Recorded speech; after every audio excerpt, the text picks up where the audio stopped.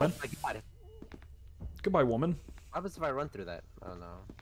I think if we're quick, we can make it. You can't. Don't do it. Where, where are you now? Uh, I'm on the ground. Hang on, I'm respawning. um. Okay, so when we spawn, we go back to the 173 chamber. That's unfortunate.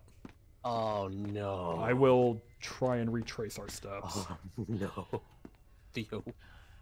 Listen, man, I, I thought I was built different. I was not built different. I, I got electrocuted and died instantly. I did not listen Okay, I to the think game.